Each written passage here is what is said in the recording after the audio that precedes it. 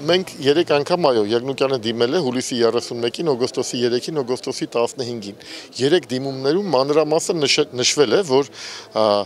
դատավորը այնպես է սանկցիան կիրառում, որ 10 ժամով, քանի որ նա հեռացվել է, առաջիկա 4-5 դատական նիստերին նա չի կարող մասնակցել դատաքննությանը, որտեղ դատավորը սանկցիան կիրառում է հետևյալ ձևով։ Հիմա երբ որ նա գնացել է խորհրդակցական սենյակ, այս ժամը չի հաշվում ինքը։ Փաստացի այսօր տեղի է ունեցել ընդամենը մի 30 րոպե դատական նիստ։ Այն ընթացքում, որ ես ընթերցեցի, եւ այսպես 10 ժամ պետք է լինի, այսինքն փաստացի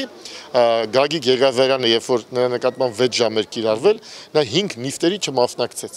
Այսինքն Եղնուկյանը 10 նիստից է հեռացվել։ Սա ենթադրում է, որ ինքը 5, 7, 8 նիստերի չի մասնակցել, որտեղ ամեն օր 1 ժամ, 2 ժամ, 2 ժամից ավել դատական նիստ տեղի չի ունենում։ Ընդ որում հիմա ընդամենը 2 ժամ է անցել, բայց նա արդեն երկրորդ անգամ է 8 ժամ բերվում է, պահվում է այստեղ դատարանի շենքի նկուղում 8-9 ժամ, հետո իրեն տեղափոխում են։ Այսինքն առանց անհրաժեշտության դատավորը որոշում է կայացնում հարկադրանքի միջոցներ կիրառել։ Եղնուկյանն էլ հայտարարել է, որ ես չեմ ենթարկվելու անօրինական որոշմանը, չեմ գալու։ Իրան կարող են միայն բռնի ուժով այստեղ բերել հարկադրանք կիրառելով։ Ասեմ ավելին, դիմել էինք նաև արդարադատության նախարարին եւ դիմել էինք քրեակատարական վարչության պետին, այս նույն բաներն ասելով, որ ինձ մի տեղափոխեք դատարան Եղնուկյանն ասել էր, հետաքրքիր պատասխան էինք ստացել քրեակատարական վարչության պետը նշել էր հետեւյալը, որ դուք պարտավոր չեք գնալ դատարան, որովհետև դուք պարտավոր եք միշտ գնալ դատարան, բացառությամբ այն դեպքում, երբ որ ձեր նկատմամբ դատական սանկցիա է կիրառվել։ Հիմա իր նկատմամբ դատական սանկցիա կա եւ պաշտոնական գրությամբ էլ իրեն չպետք է ներկայացնեն դատարան։ Ուղղակի իրենք ասել են, եթե մեզ մեզնից մենք ցուցում ստանանք, որոշում ստանանք դատարանից, մենք պարտավոր ենք կատարել դատարանի որոշումն ու ցուցումը։ Այսինքն ստացվում է, որ դատավորը եւ դատավորը որևէ իրավասություն չունի Եղնուկյանին բերելու դատական նիստերի դահլիճ։ Օրենքը դա արգելում է։ Այսինքն Եղնուկյանը ակնհայտ է, որ պետքա բերվի դատարանի շենք եւ ինքը չի մասնակցելու դատական նիստին։ Այդ դեպքում հարց առաջանում, ինչի համար իրեն պետք է բերեն դատական նիստերի դատարանի շենք եւ նկուղում նա գտնվի։ Սա պատիժ է իր նկատմամբ։ Այսինքն դատարանը օրենքից դուրս պատիժ է կիրառում Եղնուկյանի նկատմամբ։ Դատարանը իր իրավասությունները անցնելով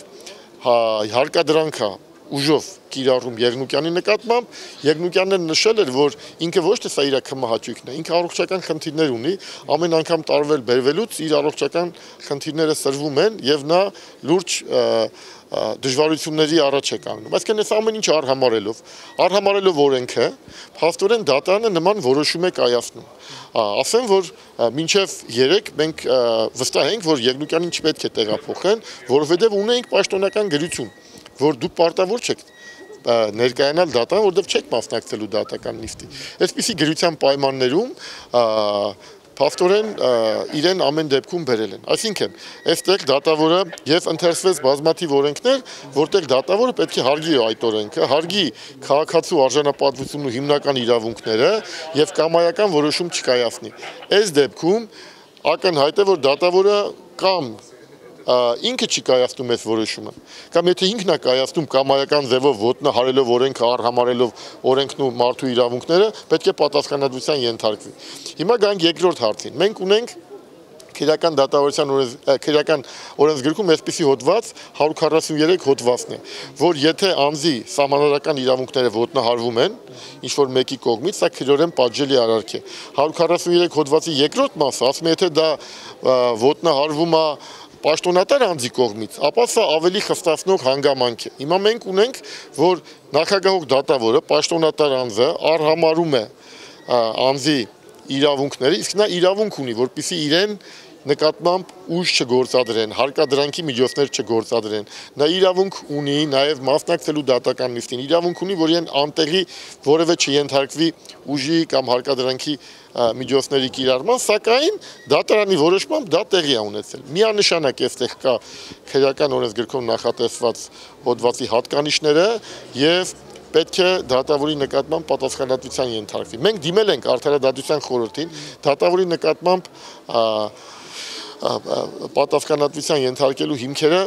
սահմանադրությամբ եւ օրենքով թվարկված են։ Իդեպ ասեմ, այստեղ դատավորը ոչ թե արդարադատություն է իրականացնում, ընդհակառակը, սա արդարադատության իրականացնելու հետ այդքան էլ կապ չունի, որովհետեւ այստեղ ինքը կմահաճույք է դրսևորում, ասում եք, հա, ամբաստանյալին բերենք ուղակի շենքի նկուգում պահենք, որովհետև ինքը այդպես է ցանկանում։ Ասեմ, որ սանկցիա կիրառել են Եղնուկյանի նկատմամբ, եւս կամայական։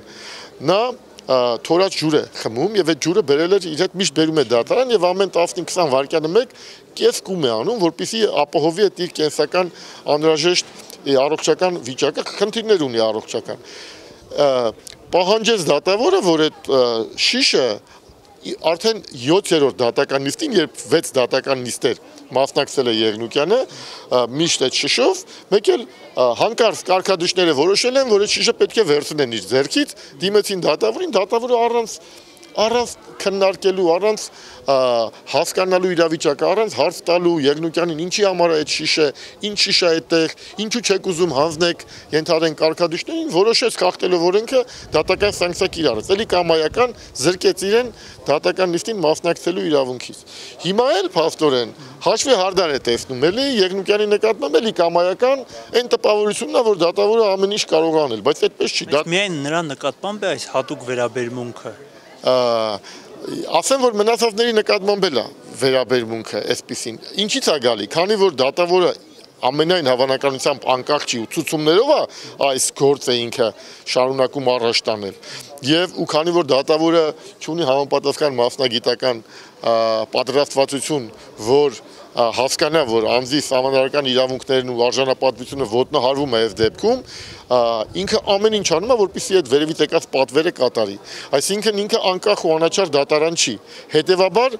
մյուս կողմից մենք արդեն դիմել էինք իր այս գործելակերպի համար արդարադատության խորհրդին, նաև հատուկ քնչական ծառայությանը գլխավոր դատախազին, որպեսզի դատավորի նկատմամբ քրեական պատասխանատվության ենթարկեն հենց այդ արարքի համար, որտեղ անձին նվաստացնելը, արժանապատվությունը նվաստացնելը կամ անմարտկային վերաբերմունք դրսևորելը քրորեն պատժելի արարք է։ Պատասխան չենք ստացել դեռ։ Հա, իհարկե սա նաև միջազգային պայմանագրեր, պայմանագրերով է երաշխավորված կոնվենցիայի 3-րդ հոդվածի հստակ այսպես խախտում կա,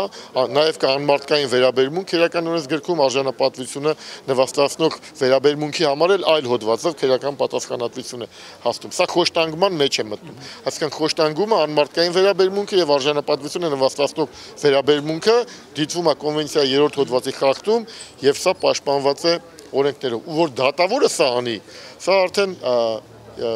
իհարկե ամեն ամեն չափու սահմանած ինքնաբացարկի միջնորդություն եք ներկայացրել པարզ է ես մի քիչ առաջ ընկնելով պետք է ասեմ որ